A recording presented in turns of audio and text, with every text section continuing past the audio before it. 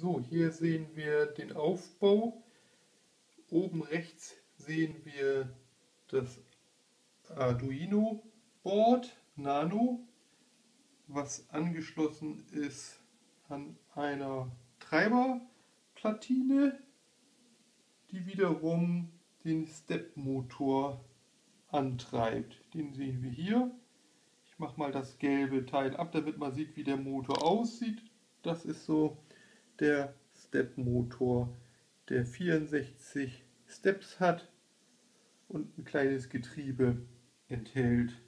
Er wird über 5 Pins angesteuert, über diese Mimik